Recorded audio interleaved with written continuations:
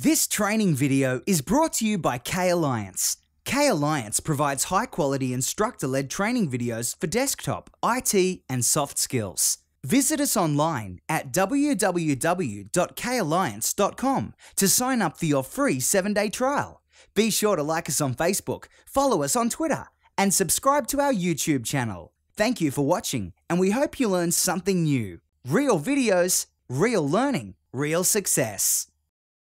In this demonstration, we're going to take a look at creating and configuring virtual storage or just managing virtual disk. we've been talking about virtual disk, VHD, and VHDX files uh, that can be uh, utilized or are utilized by the individual virtual machines on Hyper-V.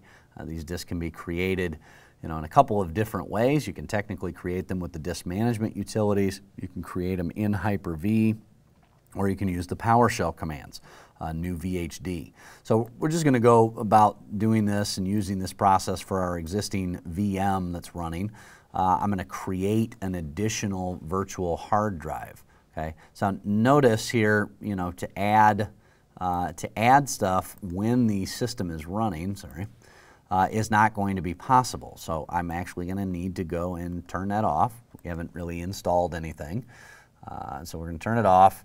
And then I'm going to go to the settings and I will at that point be able to add additional storage. Okay. Now I don't necessarily need to do this. This is adding fiber channel adapters, SCSI controllers. I've already got two IDE controllers. I can have a second hard drive on this main controller and that's what we're going to do. We hit add for hard drive. At that point, create a new virtual hard disk. We can either browse for an existing one or we can create a new one. So when you use the new one, that's where you get the new virtual hard disk wizard. Uh, VHD or VHDX, okay, so if you need uh, over two terabytes, we use VHDX. Uh, that's just a better uh, use anyway. Uh, fixed size, dynamically expanding or differencing disk, uh, my, my various options. So I'm going to use a a fixed, well, actually use dynamically expanding. Uh, my VHD is what we'll call this. And now I can physically store that in a different location uh, if I want. So I will leave it in the same place, but you know, I can store in a different location if you'd like. Uh, the size of this, okay. Uh, and then you also have, so this would be blank, so I mean I can specify a size here maximum of 64 terabytes, or I can copy the contents of a particular disk. So like here's a disk that has 29 gigabytes of information on it. So I want to actually copy that one. Or here's another VHD uh, that I want to, to copy. Now we're going to create a blank one and just make it 20 gigs uh, for example purposes.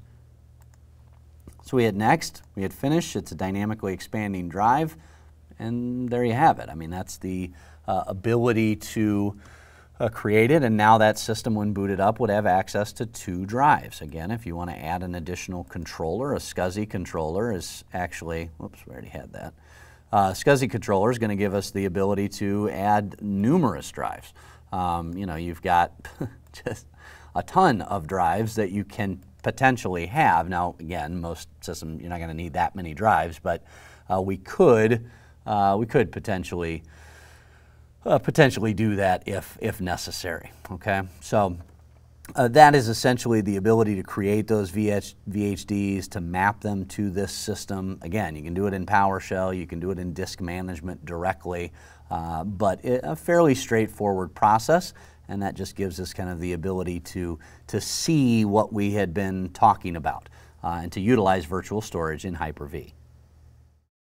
We hope you enjoyed this preview video.